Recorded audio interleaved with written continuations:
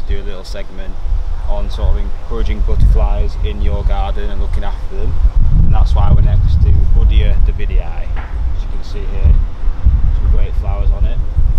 It's got a nice scent and it's called the butterfly bush because it's one of the best plants shrubs in your garden you can have for helping butterflies. But there's a key number of points you need to recognise when you're planting plants for the good of pollinators, especially butterflies. Butterflies like warmth, so you know, big nice sunny position like this cottage garden gets a lot of sun. Another thing you need to make sure you're doing is prolonging the seasonal interest, so particularly spring all the way through to autumn.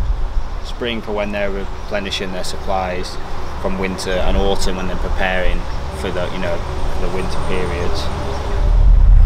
And there's another plant which I'll cut to now, which is Verbena bonariensis, which I have in my garden, but it's not in this garden, and that's another fantastic plant for butterfly.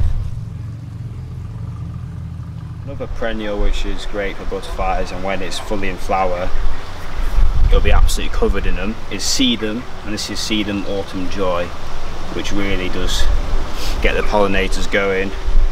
And it's quite crucial, I think, to have plants like this in your garden because, like I mentioned, in autumn they're going to be storing up for the winter.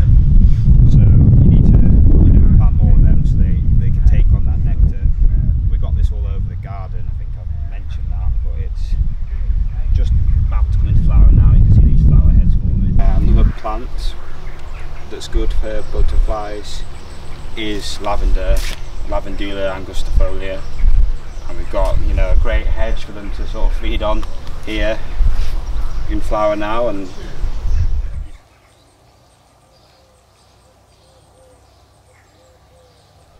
we're now starting to think how can we attract more throughout the season giving them plenty of nectar?